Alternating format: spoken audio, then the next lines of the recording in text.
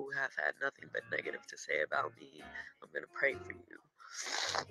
I'm going to pray for you. And then when it comes to Michael Henderson trying to slander me all this other extra stuff, first of all, let's address that real quick. Michael, stop. You you and I have been broken up since 2010.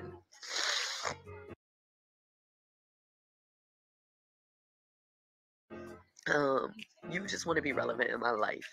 You seen that I got published, and as soon as you saw that I got published, you went straight to my sister and tried to send her this bogus ass thing, trying to slander me and dog me because you saw that I had finally made it in my career and I'm doing something well.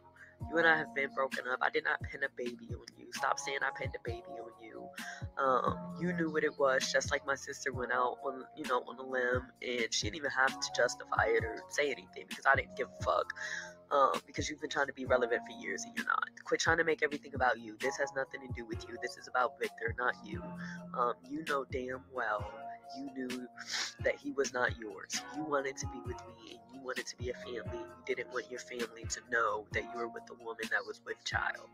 That's what happened. Um, you got butt hurt because you put your hands on me um, because I tried to go to a party with Renika, and her mom and Bubba and Nika had to come and get me from your house, and I moved out.